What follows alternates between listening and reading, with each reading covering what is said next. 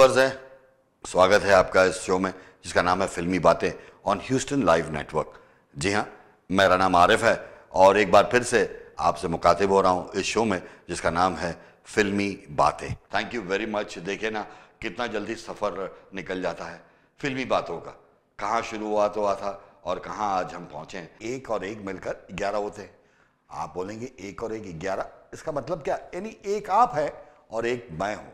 एक और एक ग्यारह होते हैं। एक मिनट। ये फिल्मी दुनिया का सफ़र ही ऐसा है।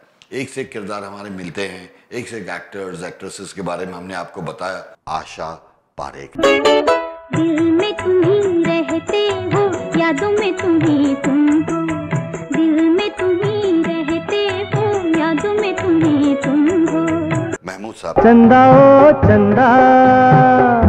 किसने चुराई? तेरी मेरी निंदिया जागे सारी रहना तेरे मेरे नैना। अशोक कुमार साहब। जरा संभल जा शायद वो आ गया।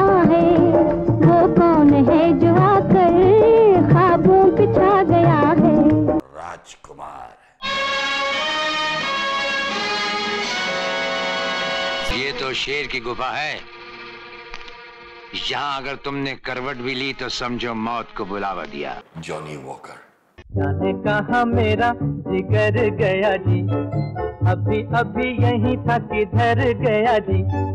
इसकी अदाओं से मर गया जी। बड़ी बड़ी अखियों से डर गया जी। राज कपूर साहब। What is my life? my life, work. My work, cinema. I dream cinema. I breathe cinema. I live cinema. मरेगा भी यहीं जिएगा भी यहीं जीना यहाँ मरना यहाँ इसके सिवा जाना कहाँ जीना यहाँ मरना यहाँ इसके सिवा जाना कहाँ। और अभी तो जनाब, कुछ खत्म नहीं हुआ, ये तो सिर्फ़ शुरुआत है। और जैसे शाहरुख खान ने कहा था ना, फ़िल्म तो अभी बाकी है मेरे दोस्त। ये फ़िल्म अभी बाकी है। आशा पारेख जी, अपने स्कूलिंग वगैरह छोड़कर फ़िल्म इंडस्ट्री में आ गई थी। लेकिन अब ऐसा हो गया कि एक फ़िल्म चली, एक फ़िल्म नहीं चली। और उसके बाद she didn't want to go back she wanted to pursue her career towards a becoming a good artist a good heroine उसके बाद नासिर हुसैन साहब ने उन्हें लगातार छह फ़िल्मों में अपनी फ़िल्मों में लिया रिपीट किया टिल 1971 देखिए 1959 से लेके 1971 में छह फ़िल्मों में नासिर हुसैन साहब ने उन्हें रिपीट किया। जैसे कि जब प्यार किसी से होता है 1961 फिर वही दिल लाया हूँ 1963 तीसरी मंजिल इन 1966 और तीसरी मंजिल में उनका एक वो जो गाना था, इतना अच्छा था आशा जी की आवाज़ में वो मेरे सोना रे सोना रे सोना रे। ओ मेरे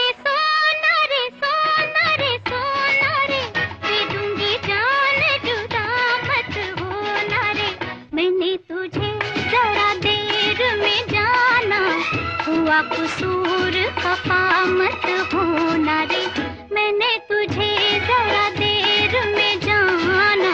हुआ कसूर मत होना रे। ओ मेरे राज घोसला साहब ने उन्हें थोड़ा से एक सीरियस रोल में लेकर आया इन द फ़िल्म दो बदन इन 1966 और दो बदन का जो गाना था, आज भी सबको याद है। और वो ये था कि लो आ गई उनकी याद, मर, वो नहीं आए। लो आ गई उनकी याद, वो नहीं आए। दिल उनको ढूंढता है, गम का सिंगार करके।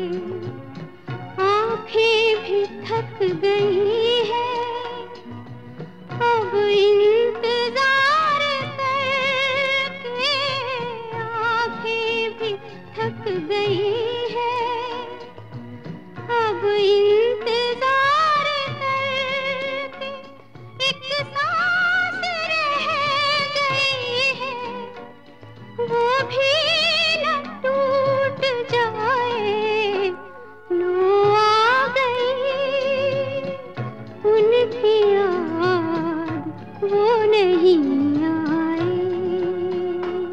महमूद साहब को फ़िल्म इंडस्ट्री में भाईजान बोलते थे। बड़ी इज़्ज़त थी उनकी, क्योंकि वो लोगों की बड़ी इज़्ज़त करते थे। तीस साल यानी तीन डेकेड्स उन्होंने फ़िल्मों में काम किया और लगभग 300 से भी ज़्यादा फ़िल्मों में उन्होंने काम किया। अब देखिए ना 30 साल में 300 फ़िल्म है, यानी 10 साल में कितनी? 100 फ़िल्म, यानी एक साल में 10 फ़िल्म। कौन है जो माइका लाल आज के वक्त में है, जो एक साल में 10 फ़िल्म देता है? कोई नहीं दे सकता। हाँ ये बात अलग है कि हर फ़िल्म हिट होना कोई ज़रूरी बात नहीं है, लेकिन उनकी एक एक फ़िल्म, हर एक फ़िल्म में कुछ ना कुछ वो ऐसा कर जाते थे कि आज भी हम महमूद साहब को याद करते हैं। ख्यालों में ख्यालों में ख्यालों में ख्यालों में।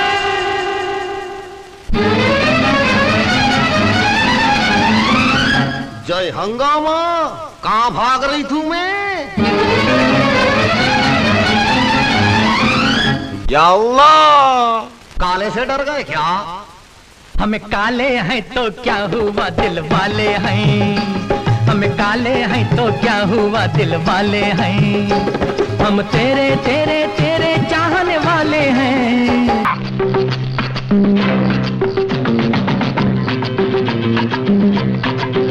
हे देखा न है सोचा न है रे रख दी निशाने पे जान। कदमों में तेरे निकले मेरा दम है बस यही अरमान। देखा न, आए रे सोचा न, आए रे रख दी निशाने पे जान। कदमों में तेरे निकले मेरा दम है बस यही अरमान। अरे ओ। और महमूद साहब और अरुण अरुण ईरानी का कहा जाता है कि कुछ चक्कर वगैरह भी था। फ़िल्म इंडस्ट्री में। लेकिन उसके बारे में हम कुछ बात नहीं करेंगे क्योंकि we do not want to get into any personal affairs of anybody हम सिर्फ़ उनकी एक्टिंग के बारे में और उनके कैरियर के बारे में ही बात करेंगे। यक चतुर नार करके सिंगार यक चतुर नार करके सिंगार मेरे मन के द्वार ये घुसत जात हम मरत जात। अरे ए, ए, ए, चतुर नार करके सिंगार परसा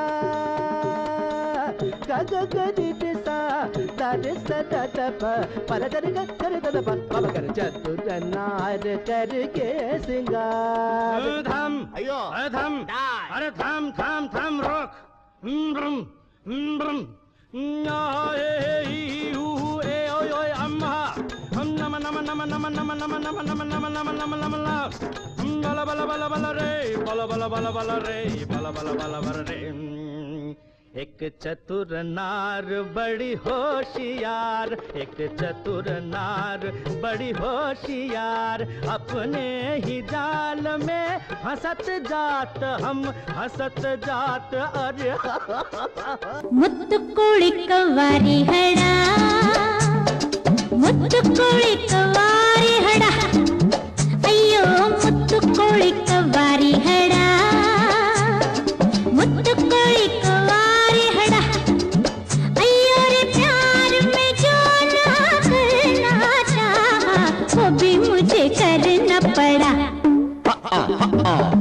ಮುತ್ತು ಕೋಳಿ ಕವ್ವಾಳಿ ಹಳ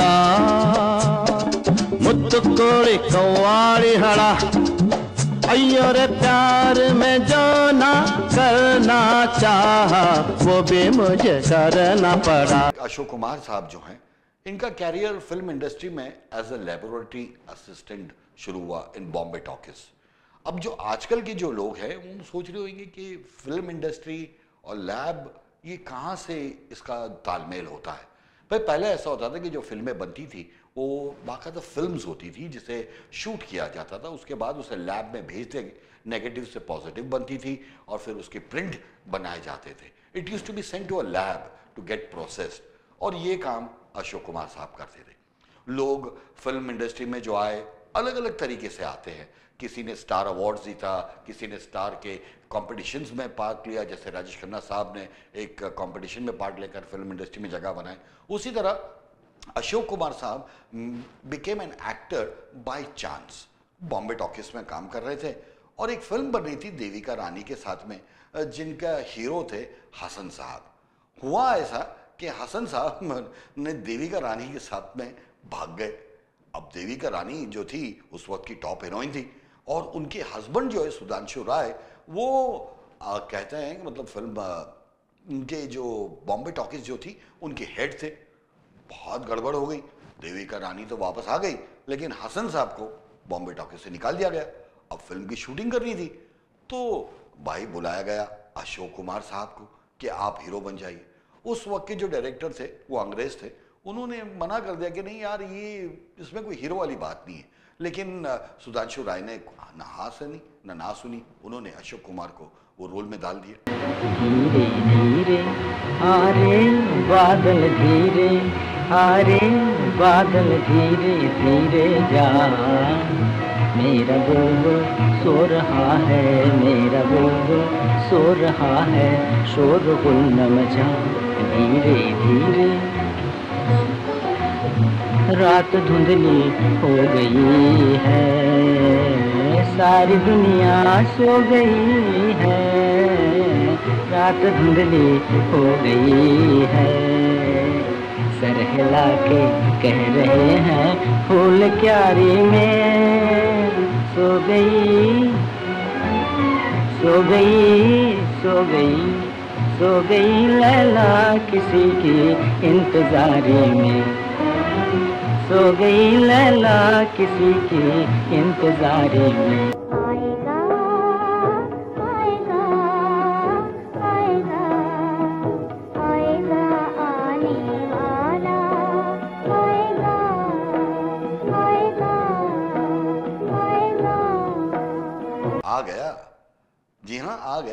कुमार आ गया एक ऐसा हीरो जो नोटिस होना शुरू हो गए और एक फ़िल्म इंडस्ट्री में अपनी जगह उन्होंने बनानी शुरू कर दी।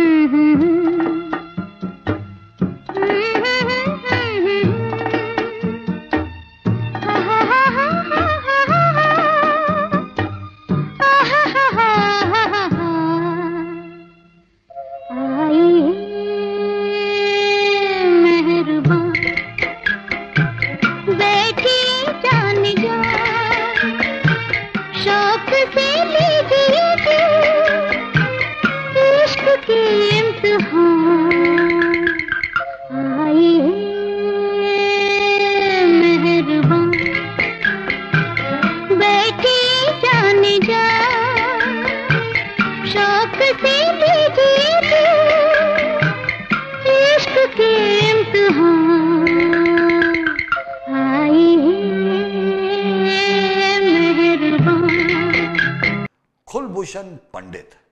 कौन है ये कुलभूषण पंडित? और क्या लेना देना है इसका फ़िल्म इंडस्ट्री से? अरे घबराइए मत।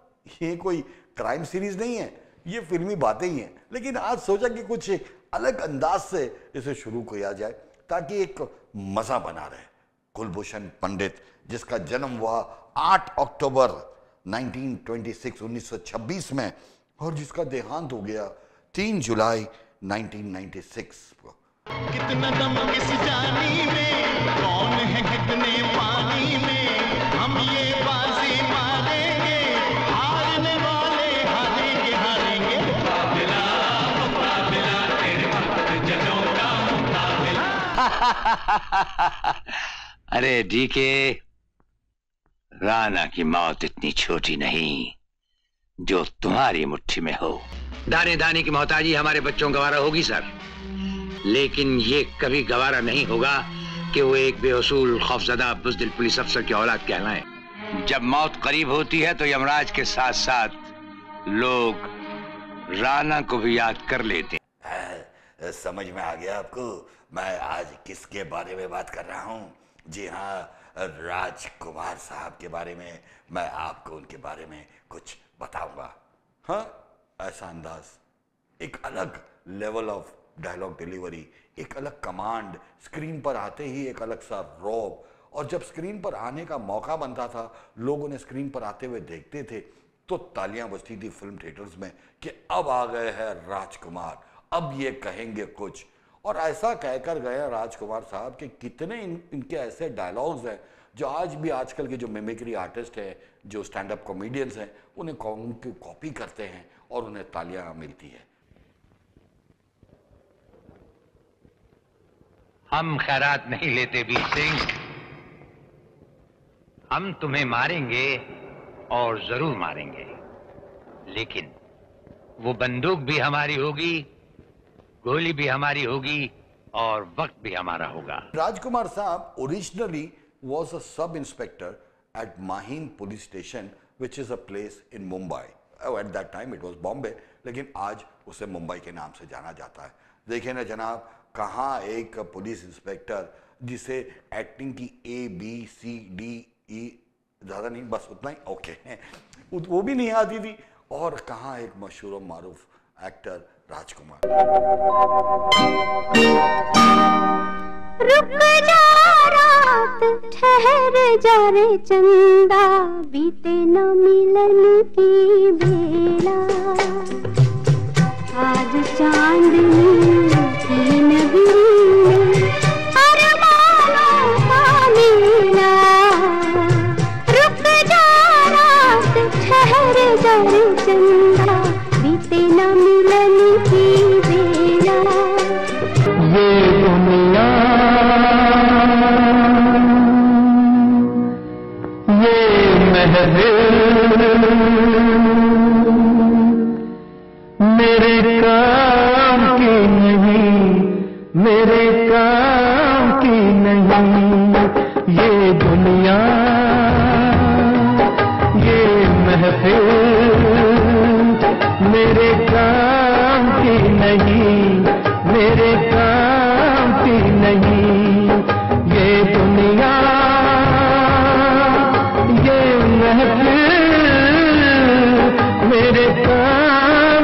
नहीं, मेरे काम की नहीं ये दुनिया।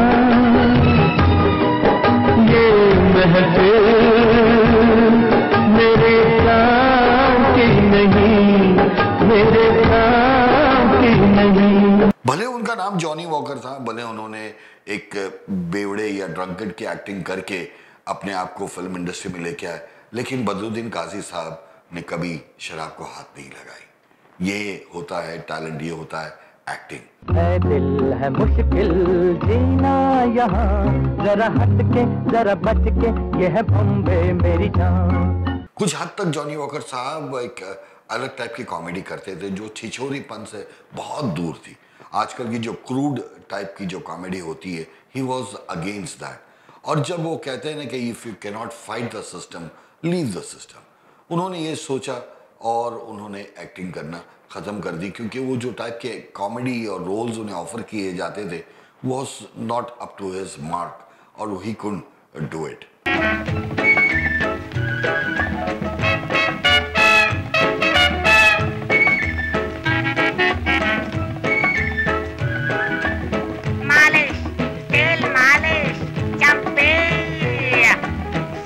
तेरा चकराए क्या दिल डूबा जाए आजा प्यारे पास हमारे काहे घबराए काहे घबराए। हे सुनो सुनो मिस्टर जी मेरे दिल का मैटर जी कलकत्ते वाली रूठ गई क्यों? बात नहीं ये batter G B R better. B R better. सुनो सुनो, मिस्टर जी मेरे दिल का मैटर जी, कलकत्ते वाली रूठ गई क्यों? बात नहीं ये बैटर जी। राज कपूर साहब की जो फैमिली है, वो पूरी फैमिली आज तक जो चली आ रही है they have some kind of base in the film industry और स्टेज पृथ्वीराज कपूर जो उनके फादर थे, उनका काफ़ी बड़ा नाम था। He was a very famous stage actor at that time and of course a very famous film actor also तो राज कपूर साहब के कहें तो रग रग में एक्टिंग फिल्म्स ये सब बसी हुई थी। He is consider to be one of the biggest film makers greatest film makers of Indian cinema उन्होंने तीन नेशनल फ़िल्म अवार्ड्स जीते हैं। ग्यारह फ़िल्म फेयर अवार्ड जीते हैं। And he was twice the nominee of Cannes film festival once in 1951 for Awaara and once in 1954 for Boot Polish जो एक बहुत बड़ी ही सोशल मैसेज लेकर फ़िल्म उन्होंने बनाई थी। And he was also known as the Clark Gable of the Indian film industry. मेरे मन की गंगा और तेरे मन की जमुना का बोल राधा बोल संगम होगा के नहीं? मेरे मन की गंगा और तेरे मन की जमुना का बोल राधा बोल संगम होगा के नहीं? अरे बोल राधा बोल संगम होगा के नहीं? नहीं कभी नहीं। राज कपूर साहब की लेगेसी अगर हम देखने जाएँ तो इनके भाई, भाइयों को लेकर जैसे शमी कपूर साहब हैं, शशि कपूर साहब हैं, इनकी लेगेसी आज तक चली आ रही है। और इनकी लेगेसी के बाद में जैसा कि राज कपूर साहब की डायरेक्ट लेगेसी जो है, रणबीर कपूर जो अभी हैं इनके ऋषि कपूर के लड़के और नी ऋषि कपूर और नीतू सिंह के लड़के हैं, वो आज भी फ़िल्म इंडस्ट्री में हैं। एंड राज कपूर की फैमिली आर के फैमिली ने इस फ़िल्म इंडस्ट्री को काफ़ी अच्छे अच्छे और बड़े बड़े एक्टर्स दिए हैं। चाहे जब हमको आवाज़ दो। हम हैं वहीं हम थे जहाँ अपने यहीं दोनों जहाँ इसके सिवा जाना कहाँ। पेशा क्या आपका? डकैती। अरे तेरी की डकैती? मैं बहुत देर से बात समझता हूँ। औंधी खोपड़ी है ना मेरी? ये रात भीगी भीगी ये मस्त फिजाएँ उठा धीरे धीरे वो चाँद प्यारा प्यारा जी नहीं ये मेरी तस्वीर है मेरे बाप का नाम सेठ गिरधारी लाल है मैं सुमन से शादी करने के लिए घर से भाग रही हूँ और मेरे पकड़ने वाले को सवा लाख रुपए इनाम मिले when he was little, and if he got a firing or if he got a yell, and the reaction was a natural reaction of weeping, he would go near a mirror, watch himself, which later on Rishi Kapoor did, because I remember that was during my time because I was. What was I? Something like 14 years older to Rishi. So इतना सारा Rishi, तो हम लोग उसको थप्पड़ मारते थे, and he would immediately go find a mirror and go. So Raj Kapoor used to do that, and then Rishi did that. हकीकत हूँ हकीकत से दूर रहने वाले मुझे हकीकत समझा मैं नौकरी करना भी नहीं चाहता नौकरी नहीं करोगे तो क्या सड़कों पे आवारा घूमोगे यही समझ लीजिए। मैं अपना थिएटर बनाना चाहता हूँ। दोस्त दोस्त ना रहा, प्यार प्यार ना रहा, ज़िंदगी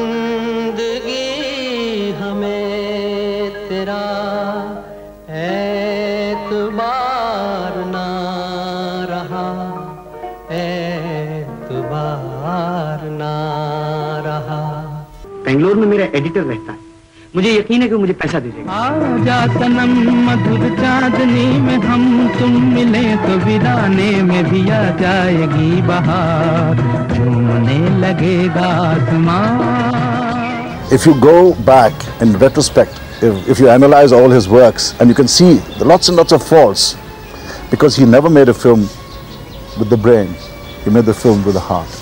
That was Raj Kapoor. ये मेरा गीत जीवन संगी, कल भी कोई दोहराएगा। ये मेरा जीवन संगी, कल भी कोई दोहराएगा। जग को हंसाने, बहरू दिया रूप बदल फिर हर चीज़ जो होती है, कहीं ना कहीं जाके ख़त्म होती है ताकि एक नई चीज़ की शुरुआत हो। तो ये सीज़न वन का ख़त्म होने का एक आसरा है। तेरह एपिसोड हो चुके हैं, उम्मीद करता हूँ आपको हमारा साथ पसंद आ गया होगा। And we become friends right now and we keep receiving your emails and everything keep them coming on हमारा ईमेल एड्रेस नीचे स्क्रीन पर चल रहा है। Please send us emails what you would like to see different in season two ताकि हमें पता चले कि how we can cater to you तो आपसे बहुत जल्द मुलाकात होती है। छोटे से ब्रेक के बाद में सीज़न टू ऑफ़ फिल्मी बातें। मेरा नाम आरिफ है and this you watching it on Houston live network thank you very much